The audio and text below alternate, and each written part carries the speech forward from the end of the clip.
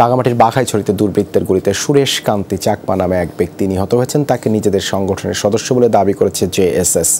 ভোরে উপজেলার বঙ্গলতলি এলাকায় এই ঘটনা ঘটে। স্থানীয়রা জানায়, গত রাতে সুরেশ কান্তি চাকমা নিজ বাড়ি থেকে পাঁচ কিলোমিটার দূরে সুপ্পা চাকমা নামে এক ব্যক্তির বাড়িতে অবস্থান করছিলেন। ভোরের দিকে দুর্বৃত্তরা খুব কাছে থেকে তাকে গুলি করে হত্যা করে।